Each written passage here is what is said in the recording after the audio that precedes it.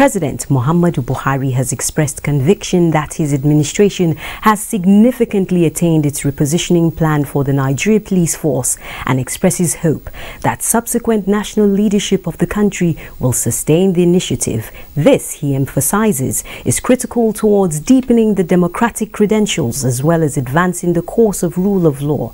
This was at the official launch of the critical operational assets procured by the Nigeria Police Force. State House correspondent Adamu Sambo has details. Thank you. Thank you.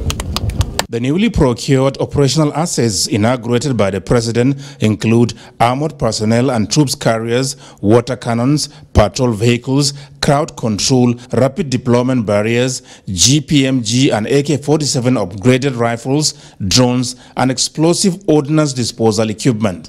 The procurement of the assets, some of whose utilization is demonstrated here, is in furtherance of the broad plans by the Nigeria police towards guaranteeing a stable internal security order as well as peaceful, secure and credible 2023 elections. The overriding goal is to modernize, reform and restore the dwindling primacy of our police within the internal security architecture of the country. And I am delighted that the force leadership is advancing my vision to bequeath to the nation a democratic culture in which the police will not only be apolitical and impartial during the 2023 general election, but in which the process will be peaceful and secure, and the outcome truly reflective of the free will of the students while commending the Inspector General of Police for his commitment towards achieving an efficient police force.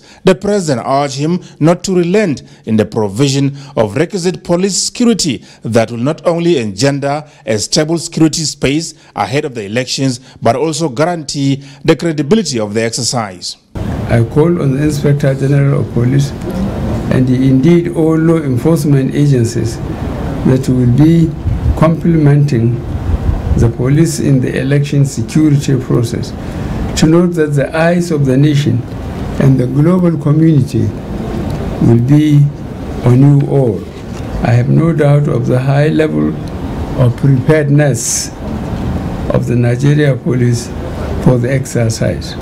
I trust also that in line with your service oath and statutory obligation to our beloved country, you will not disappoint us all as you put to effect your election security governance operational plans. The president used the opportunity to confirm his approval for the release of funds for the continuation of the annual recruitment of 10,000 constables of the Nigeria Police. Police Affairs Minister Muhammad Maigari Dingyadi said more assorted anti-riot equipment acquired from China will soon be delivered and deployed by the Nigeria Police towards facilitating free, fair and peaceful elections beginning this month. I assure Your Excellency the resolve of the Ministry under my watch to continue to support and encourage the police towards attaining the lofty democratic and internal security vision of Mr. President. Let me also assure that the Ministry will continue to encourage the Inspector General of Police in his re-engineering plan for the force. We shall also encourage the police to put to proper use the acquired assets for the good of citizens and our dear nation. I renew my assurances to Mr. President and the nation that in line with your Excellency's charge, the Nigeria Police will be apolitical and impartial and shall deliver on our election security mandates within the context of democratic values and best practices.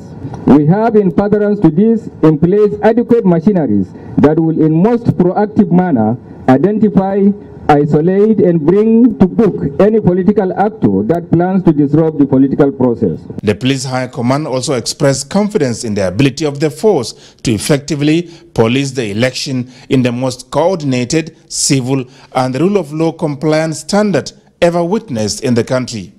In Abuja, Adamu Sambo, NTA News.